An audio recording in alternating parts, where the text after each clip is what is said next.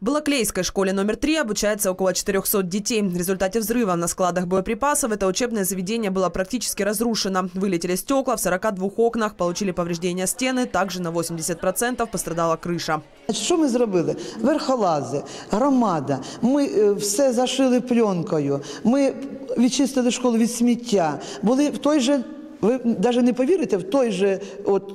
Ранок були вже зроблені заміри дверей із тих е, е, е, пакетів. Е, Приїхав екіпаж. Тобто це було наскільки все оперативно. Були д- допомога надана. Кабинет украинского языка и литературы, рассказывает преподавательница Ольга Шевейко, находится в центре здания, поэтому класс был поврежден меньше всех остальных. В некоторых кабинетах, добавляет педагог, после ЧП продолжать учебный процесс было просто невозможно. Тому наші якраз вікна вціліли на диво. Були там тріснуті с- с- скло тріснуте, але взагалі вікна вціліли. І от наша класна кімната постраждала найменше, як з'ясувалося. В усіх інших кімнатах було ж жалюгідніший стан.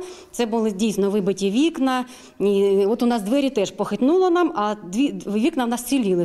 Всего в результате взрывов на арсенале в Балаклее были повреждены шесть учебных заведений района. Три школы специалисты признали аварийными. Зразу після аварії нами були встановлені вікна, е, облаштовані дахи, приведені приміщення до належного стану, щоб діти могли продовжити навчальний процес. І з початком вже літніх канікул ми привели всі заклади до належного чину. Также завершили восстановление разрушенных Балаклейской школы номер 6 и Ековенковской. Последние полностью заменили окна и отремонтировали кровлю. Выделение средств на капитальный ремонт поврежденных социальных объектов добилась глава Харьковщины Юлия Светличная во время встречи с премьер-министром Владимиром Гройсманом.